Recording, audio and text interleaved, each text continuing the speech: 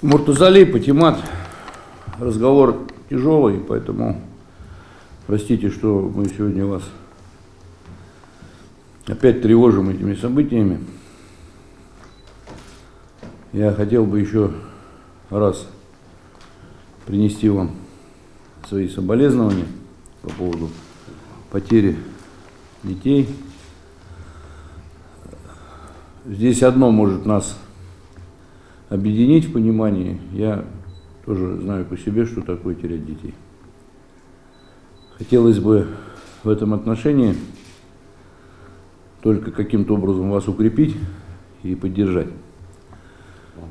Сегодня, являясь исполняющим обязанности главы республики, я понимаю, что ваше горе, оно в определенной степени стало горем всех дагестанцев, которые, к сожалению, вот за эти смутные времена потеряли детей. Но жизнь продолжается, жить надо. Я никоим образом не призываю забыть о том событии, которое произошло. Это невозможно.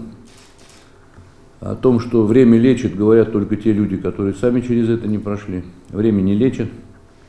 Время, наоборот, только дает возможность, вы меня поймете, о детях вспоминать так, что вот если бы это было сегодня, ему было бы 20, а ему было бы там 25, а, наверное, он был уже обзавелся семьей, наверное, у нас были бы уже внуки. Я это прекрасно понимаю, и поверьте, что чем дольше мы с вами будем жить, тем больше у нас будет вот таких эмоций. Потому что детей, которых рядом нет, они все равно рядом с нами. Они все равно рядом с нами, они живут, мы думаем, что вот сегодня, наверное, так бы было, а завтра так было. И э, в этом смысле это хорошо, что мы помним, а пока мы помним, они живут. И сверху смотрят на нас и думают, наверное, о том, что мы, наверное, тоже в этом отношении укрепляют и поддерживают нас. Я хочу вам на сегодняшний день вот предложить следующее. Не как глава и не как э, руководитель, просто как человек, который тоже понимает ваше горе и разделяет его. Давайте мы будем дальше жить, а я вам буду стараться помогать не только там морально преодолеть какие-то вещи, но если будут будет необходимость каким-то образом укрепить а, вас, потому что возраст идет, мы все уже не молодеем, а, была бы опора на детей, они бы помогали.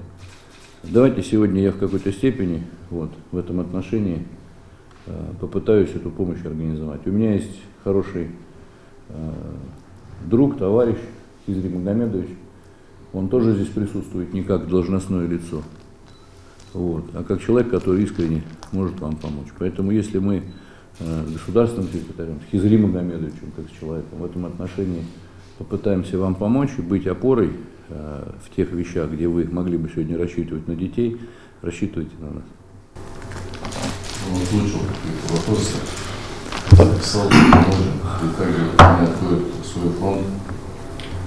Сам это будет многим людям помогать сам позаработал, поэтому э, по списку то, что мы можем сделать, мы сейчас сделаем, повернуть и фонд, поможем открыть.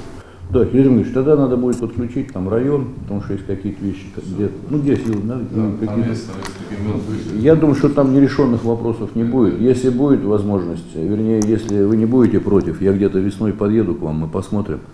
И заодно посмотрим, как э, вопросы будут решаться. Просто сейчас. Хорошо? Мы, мы очень благодарны, Сергей Алимович, вам.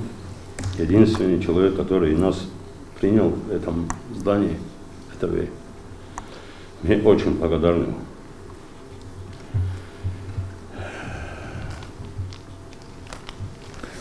Просто слова нету. мы очень благодарны, что такой теплый прием сделали для нас. И мы просим вас, чтобы вы приехали к нам весной как раз. Там сделал.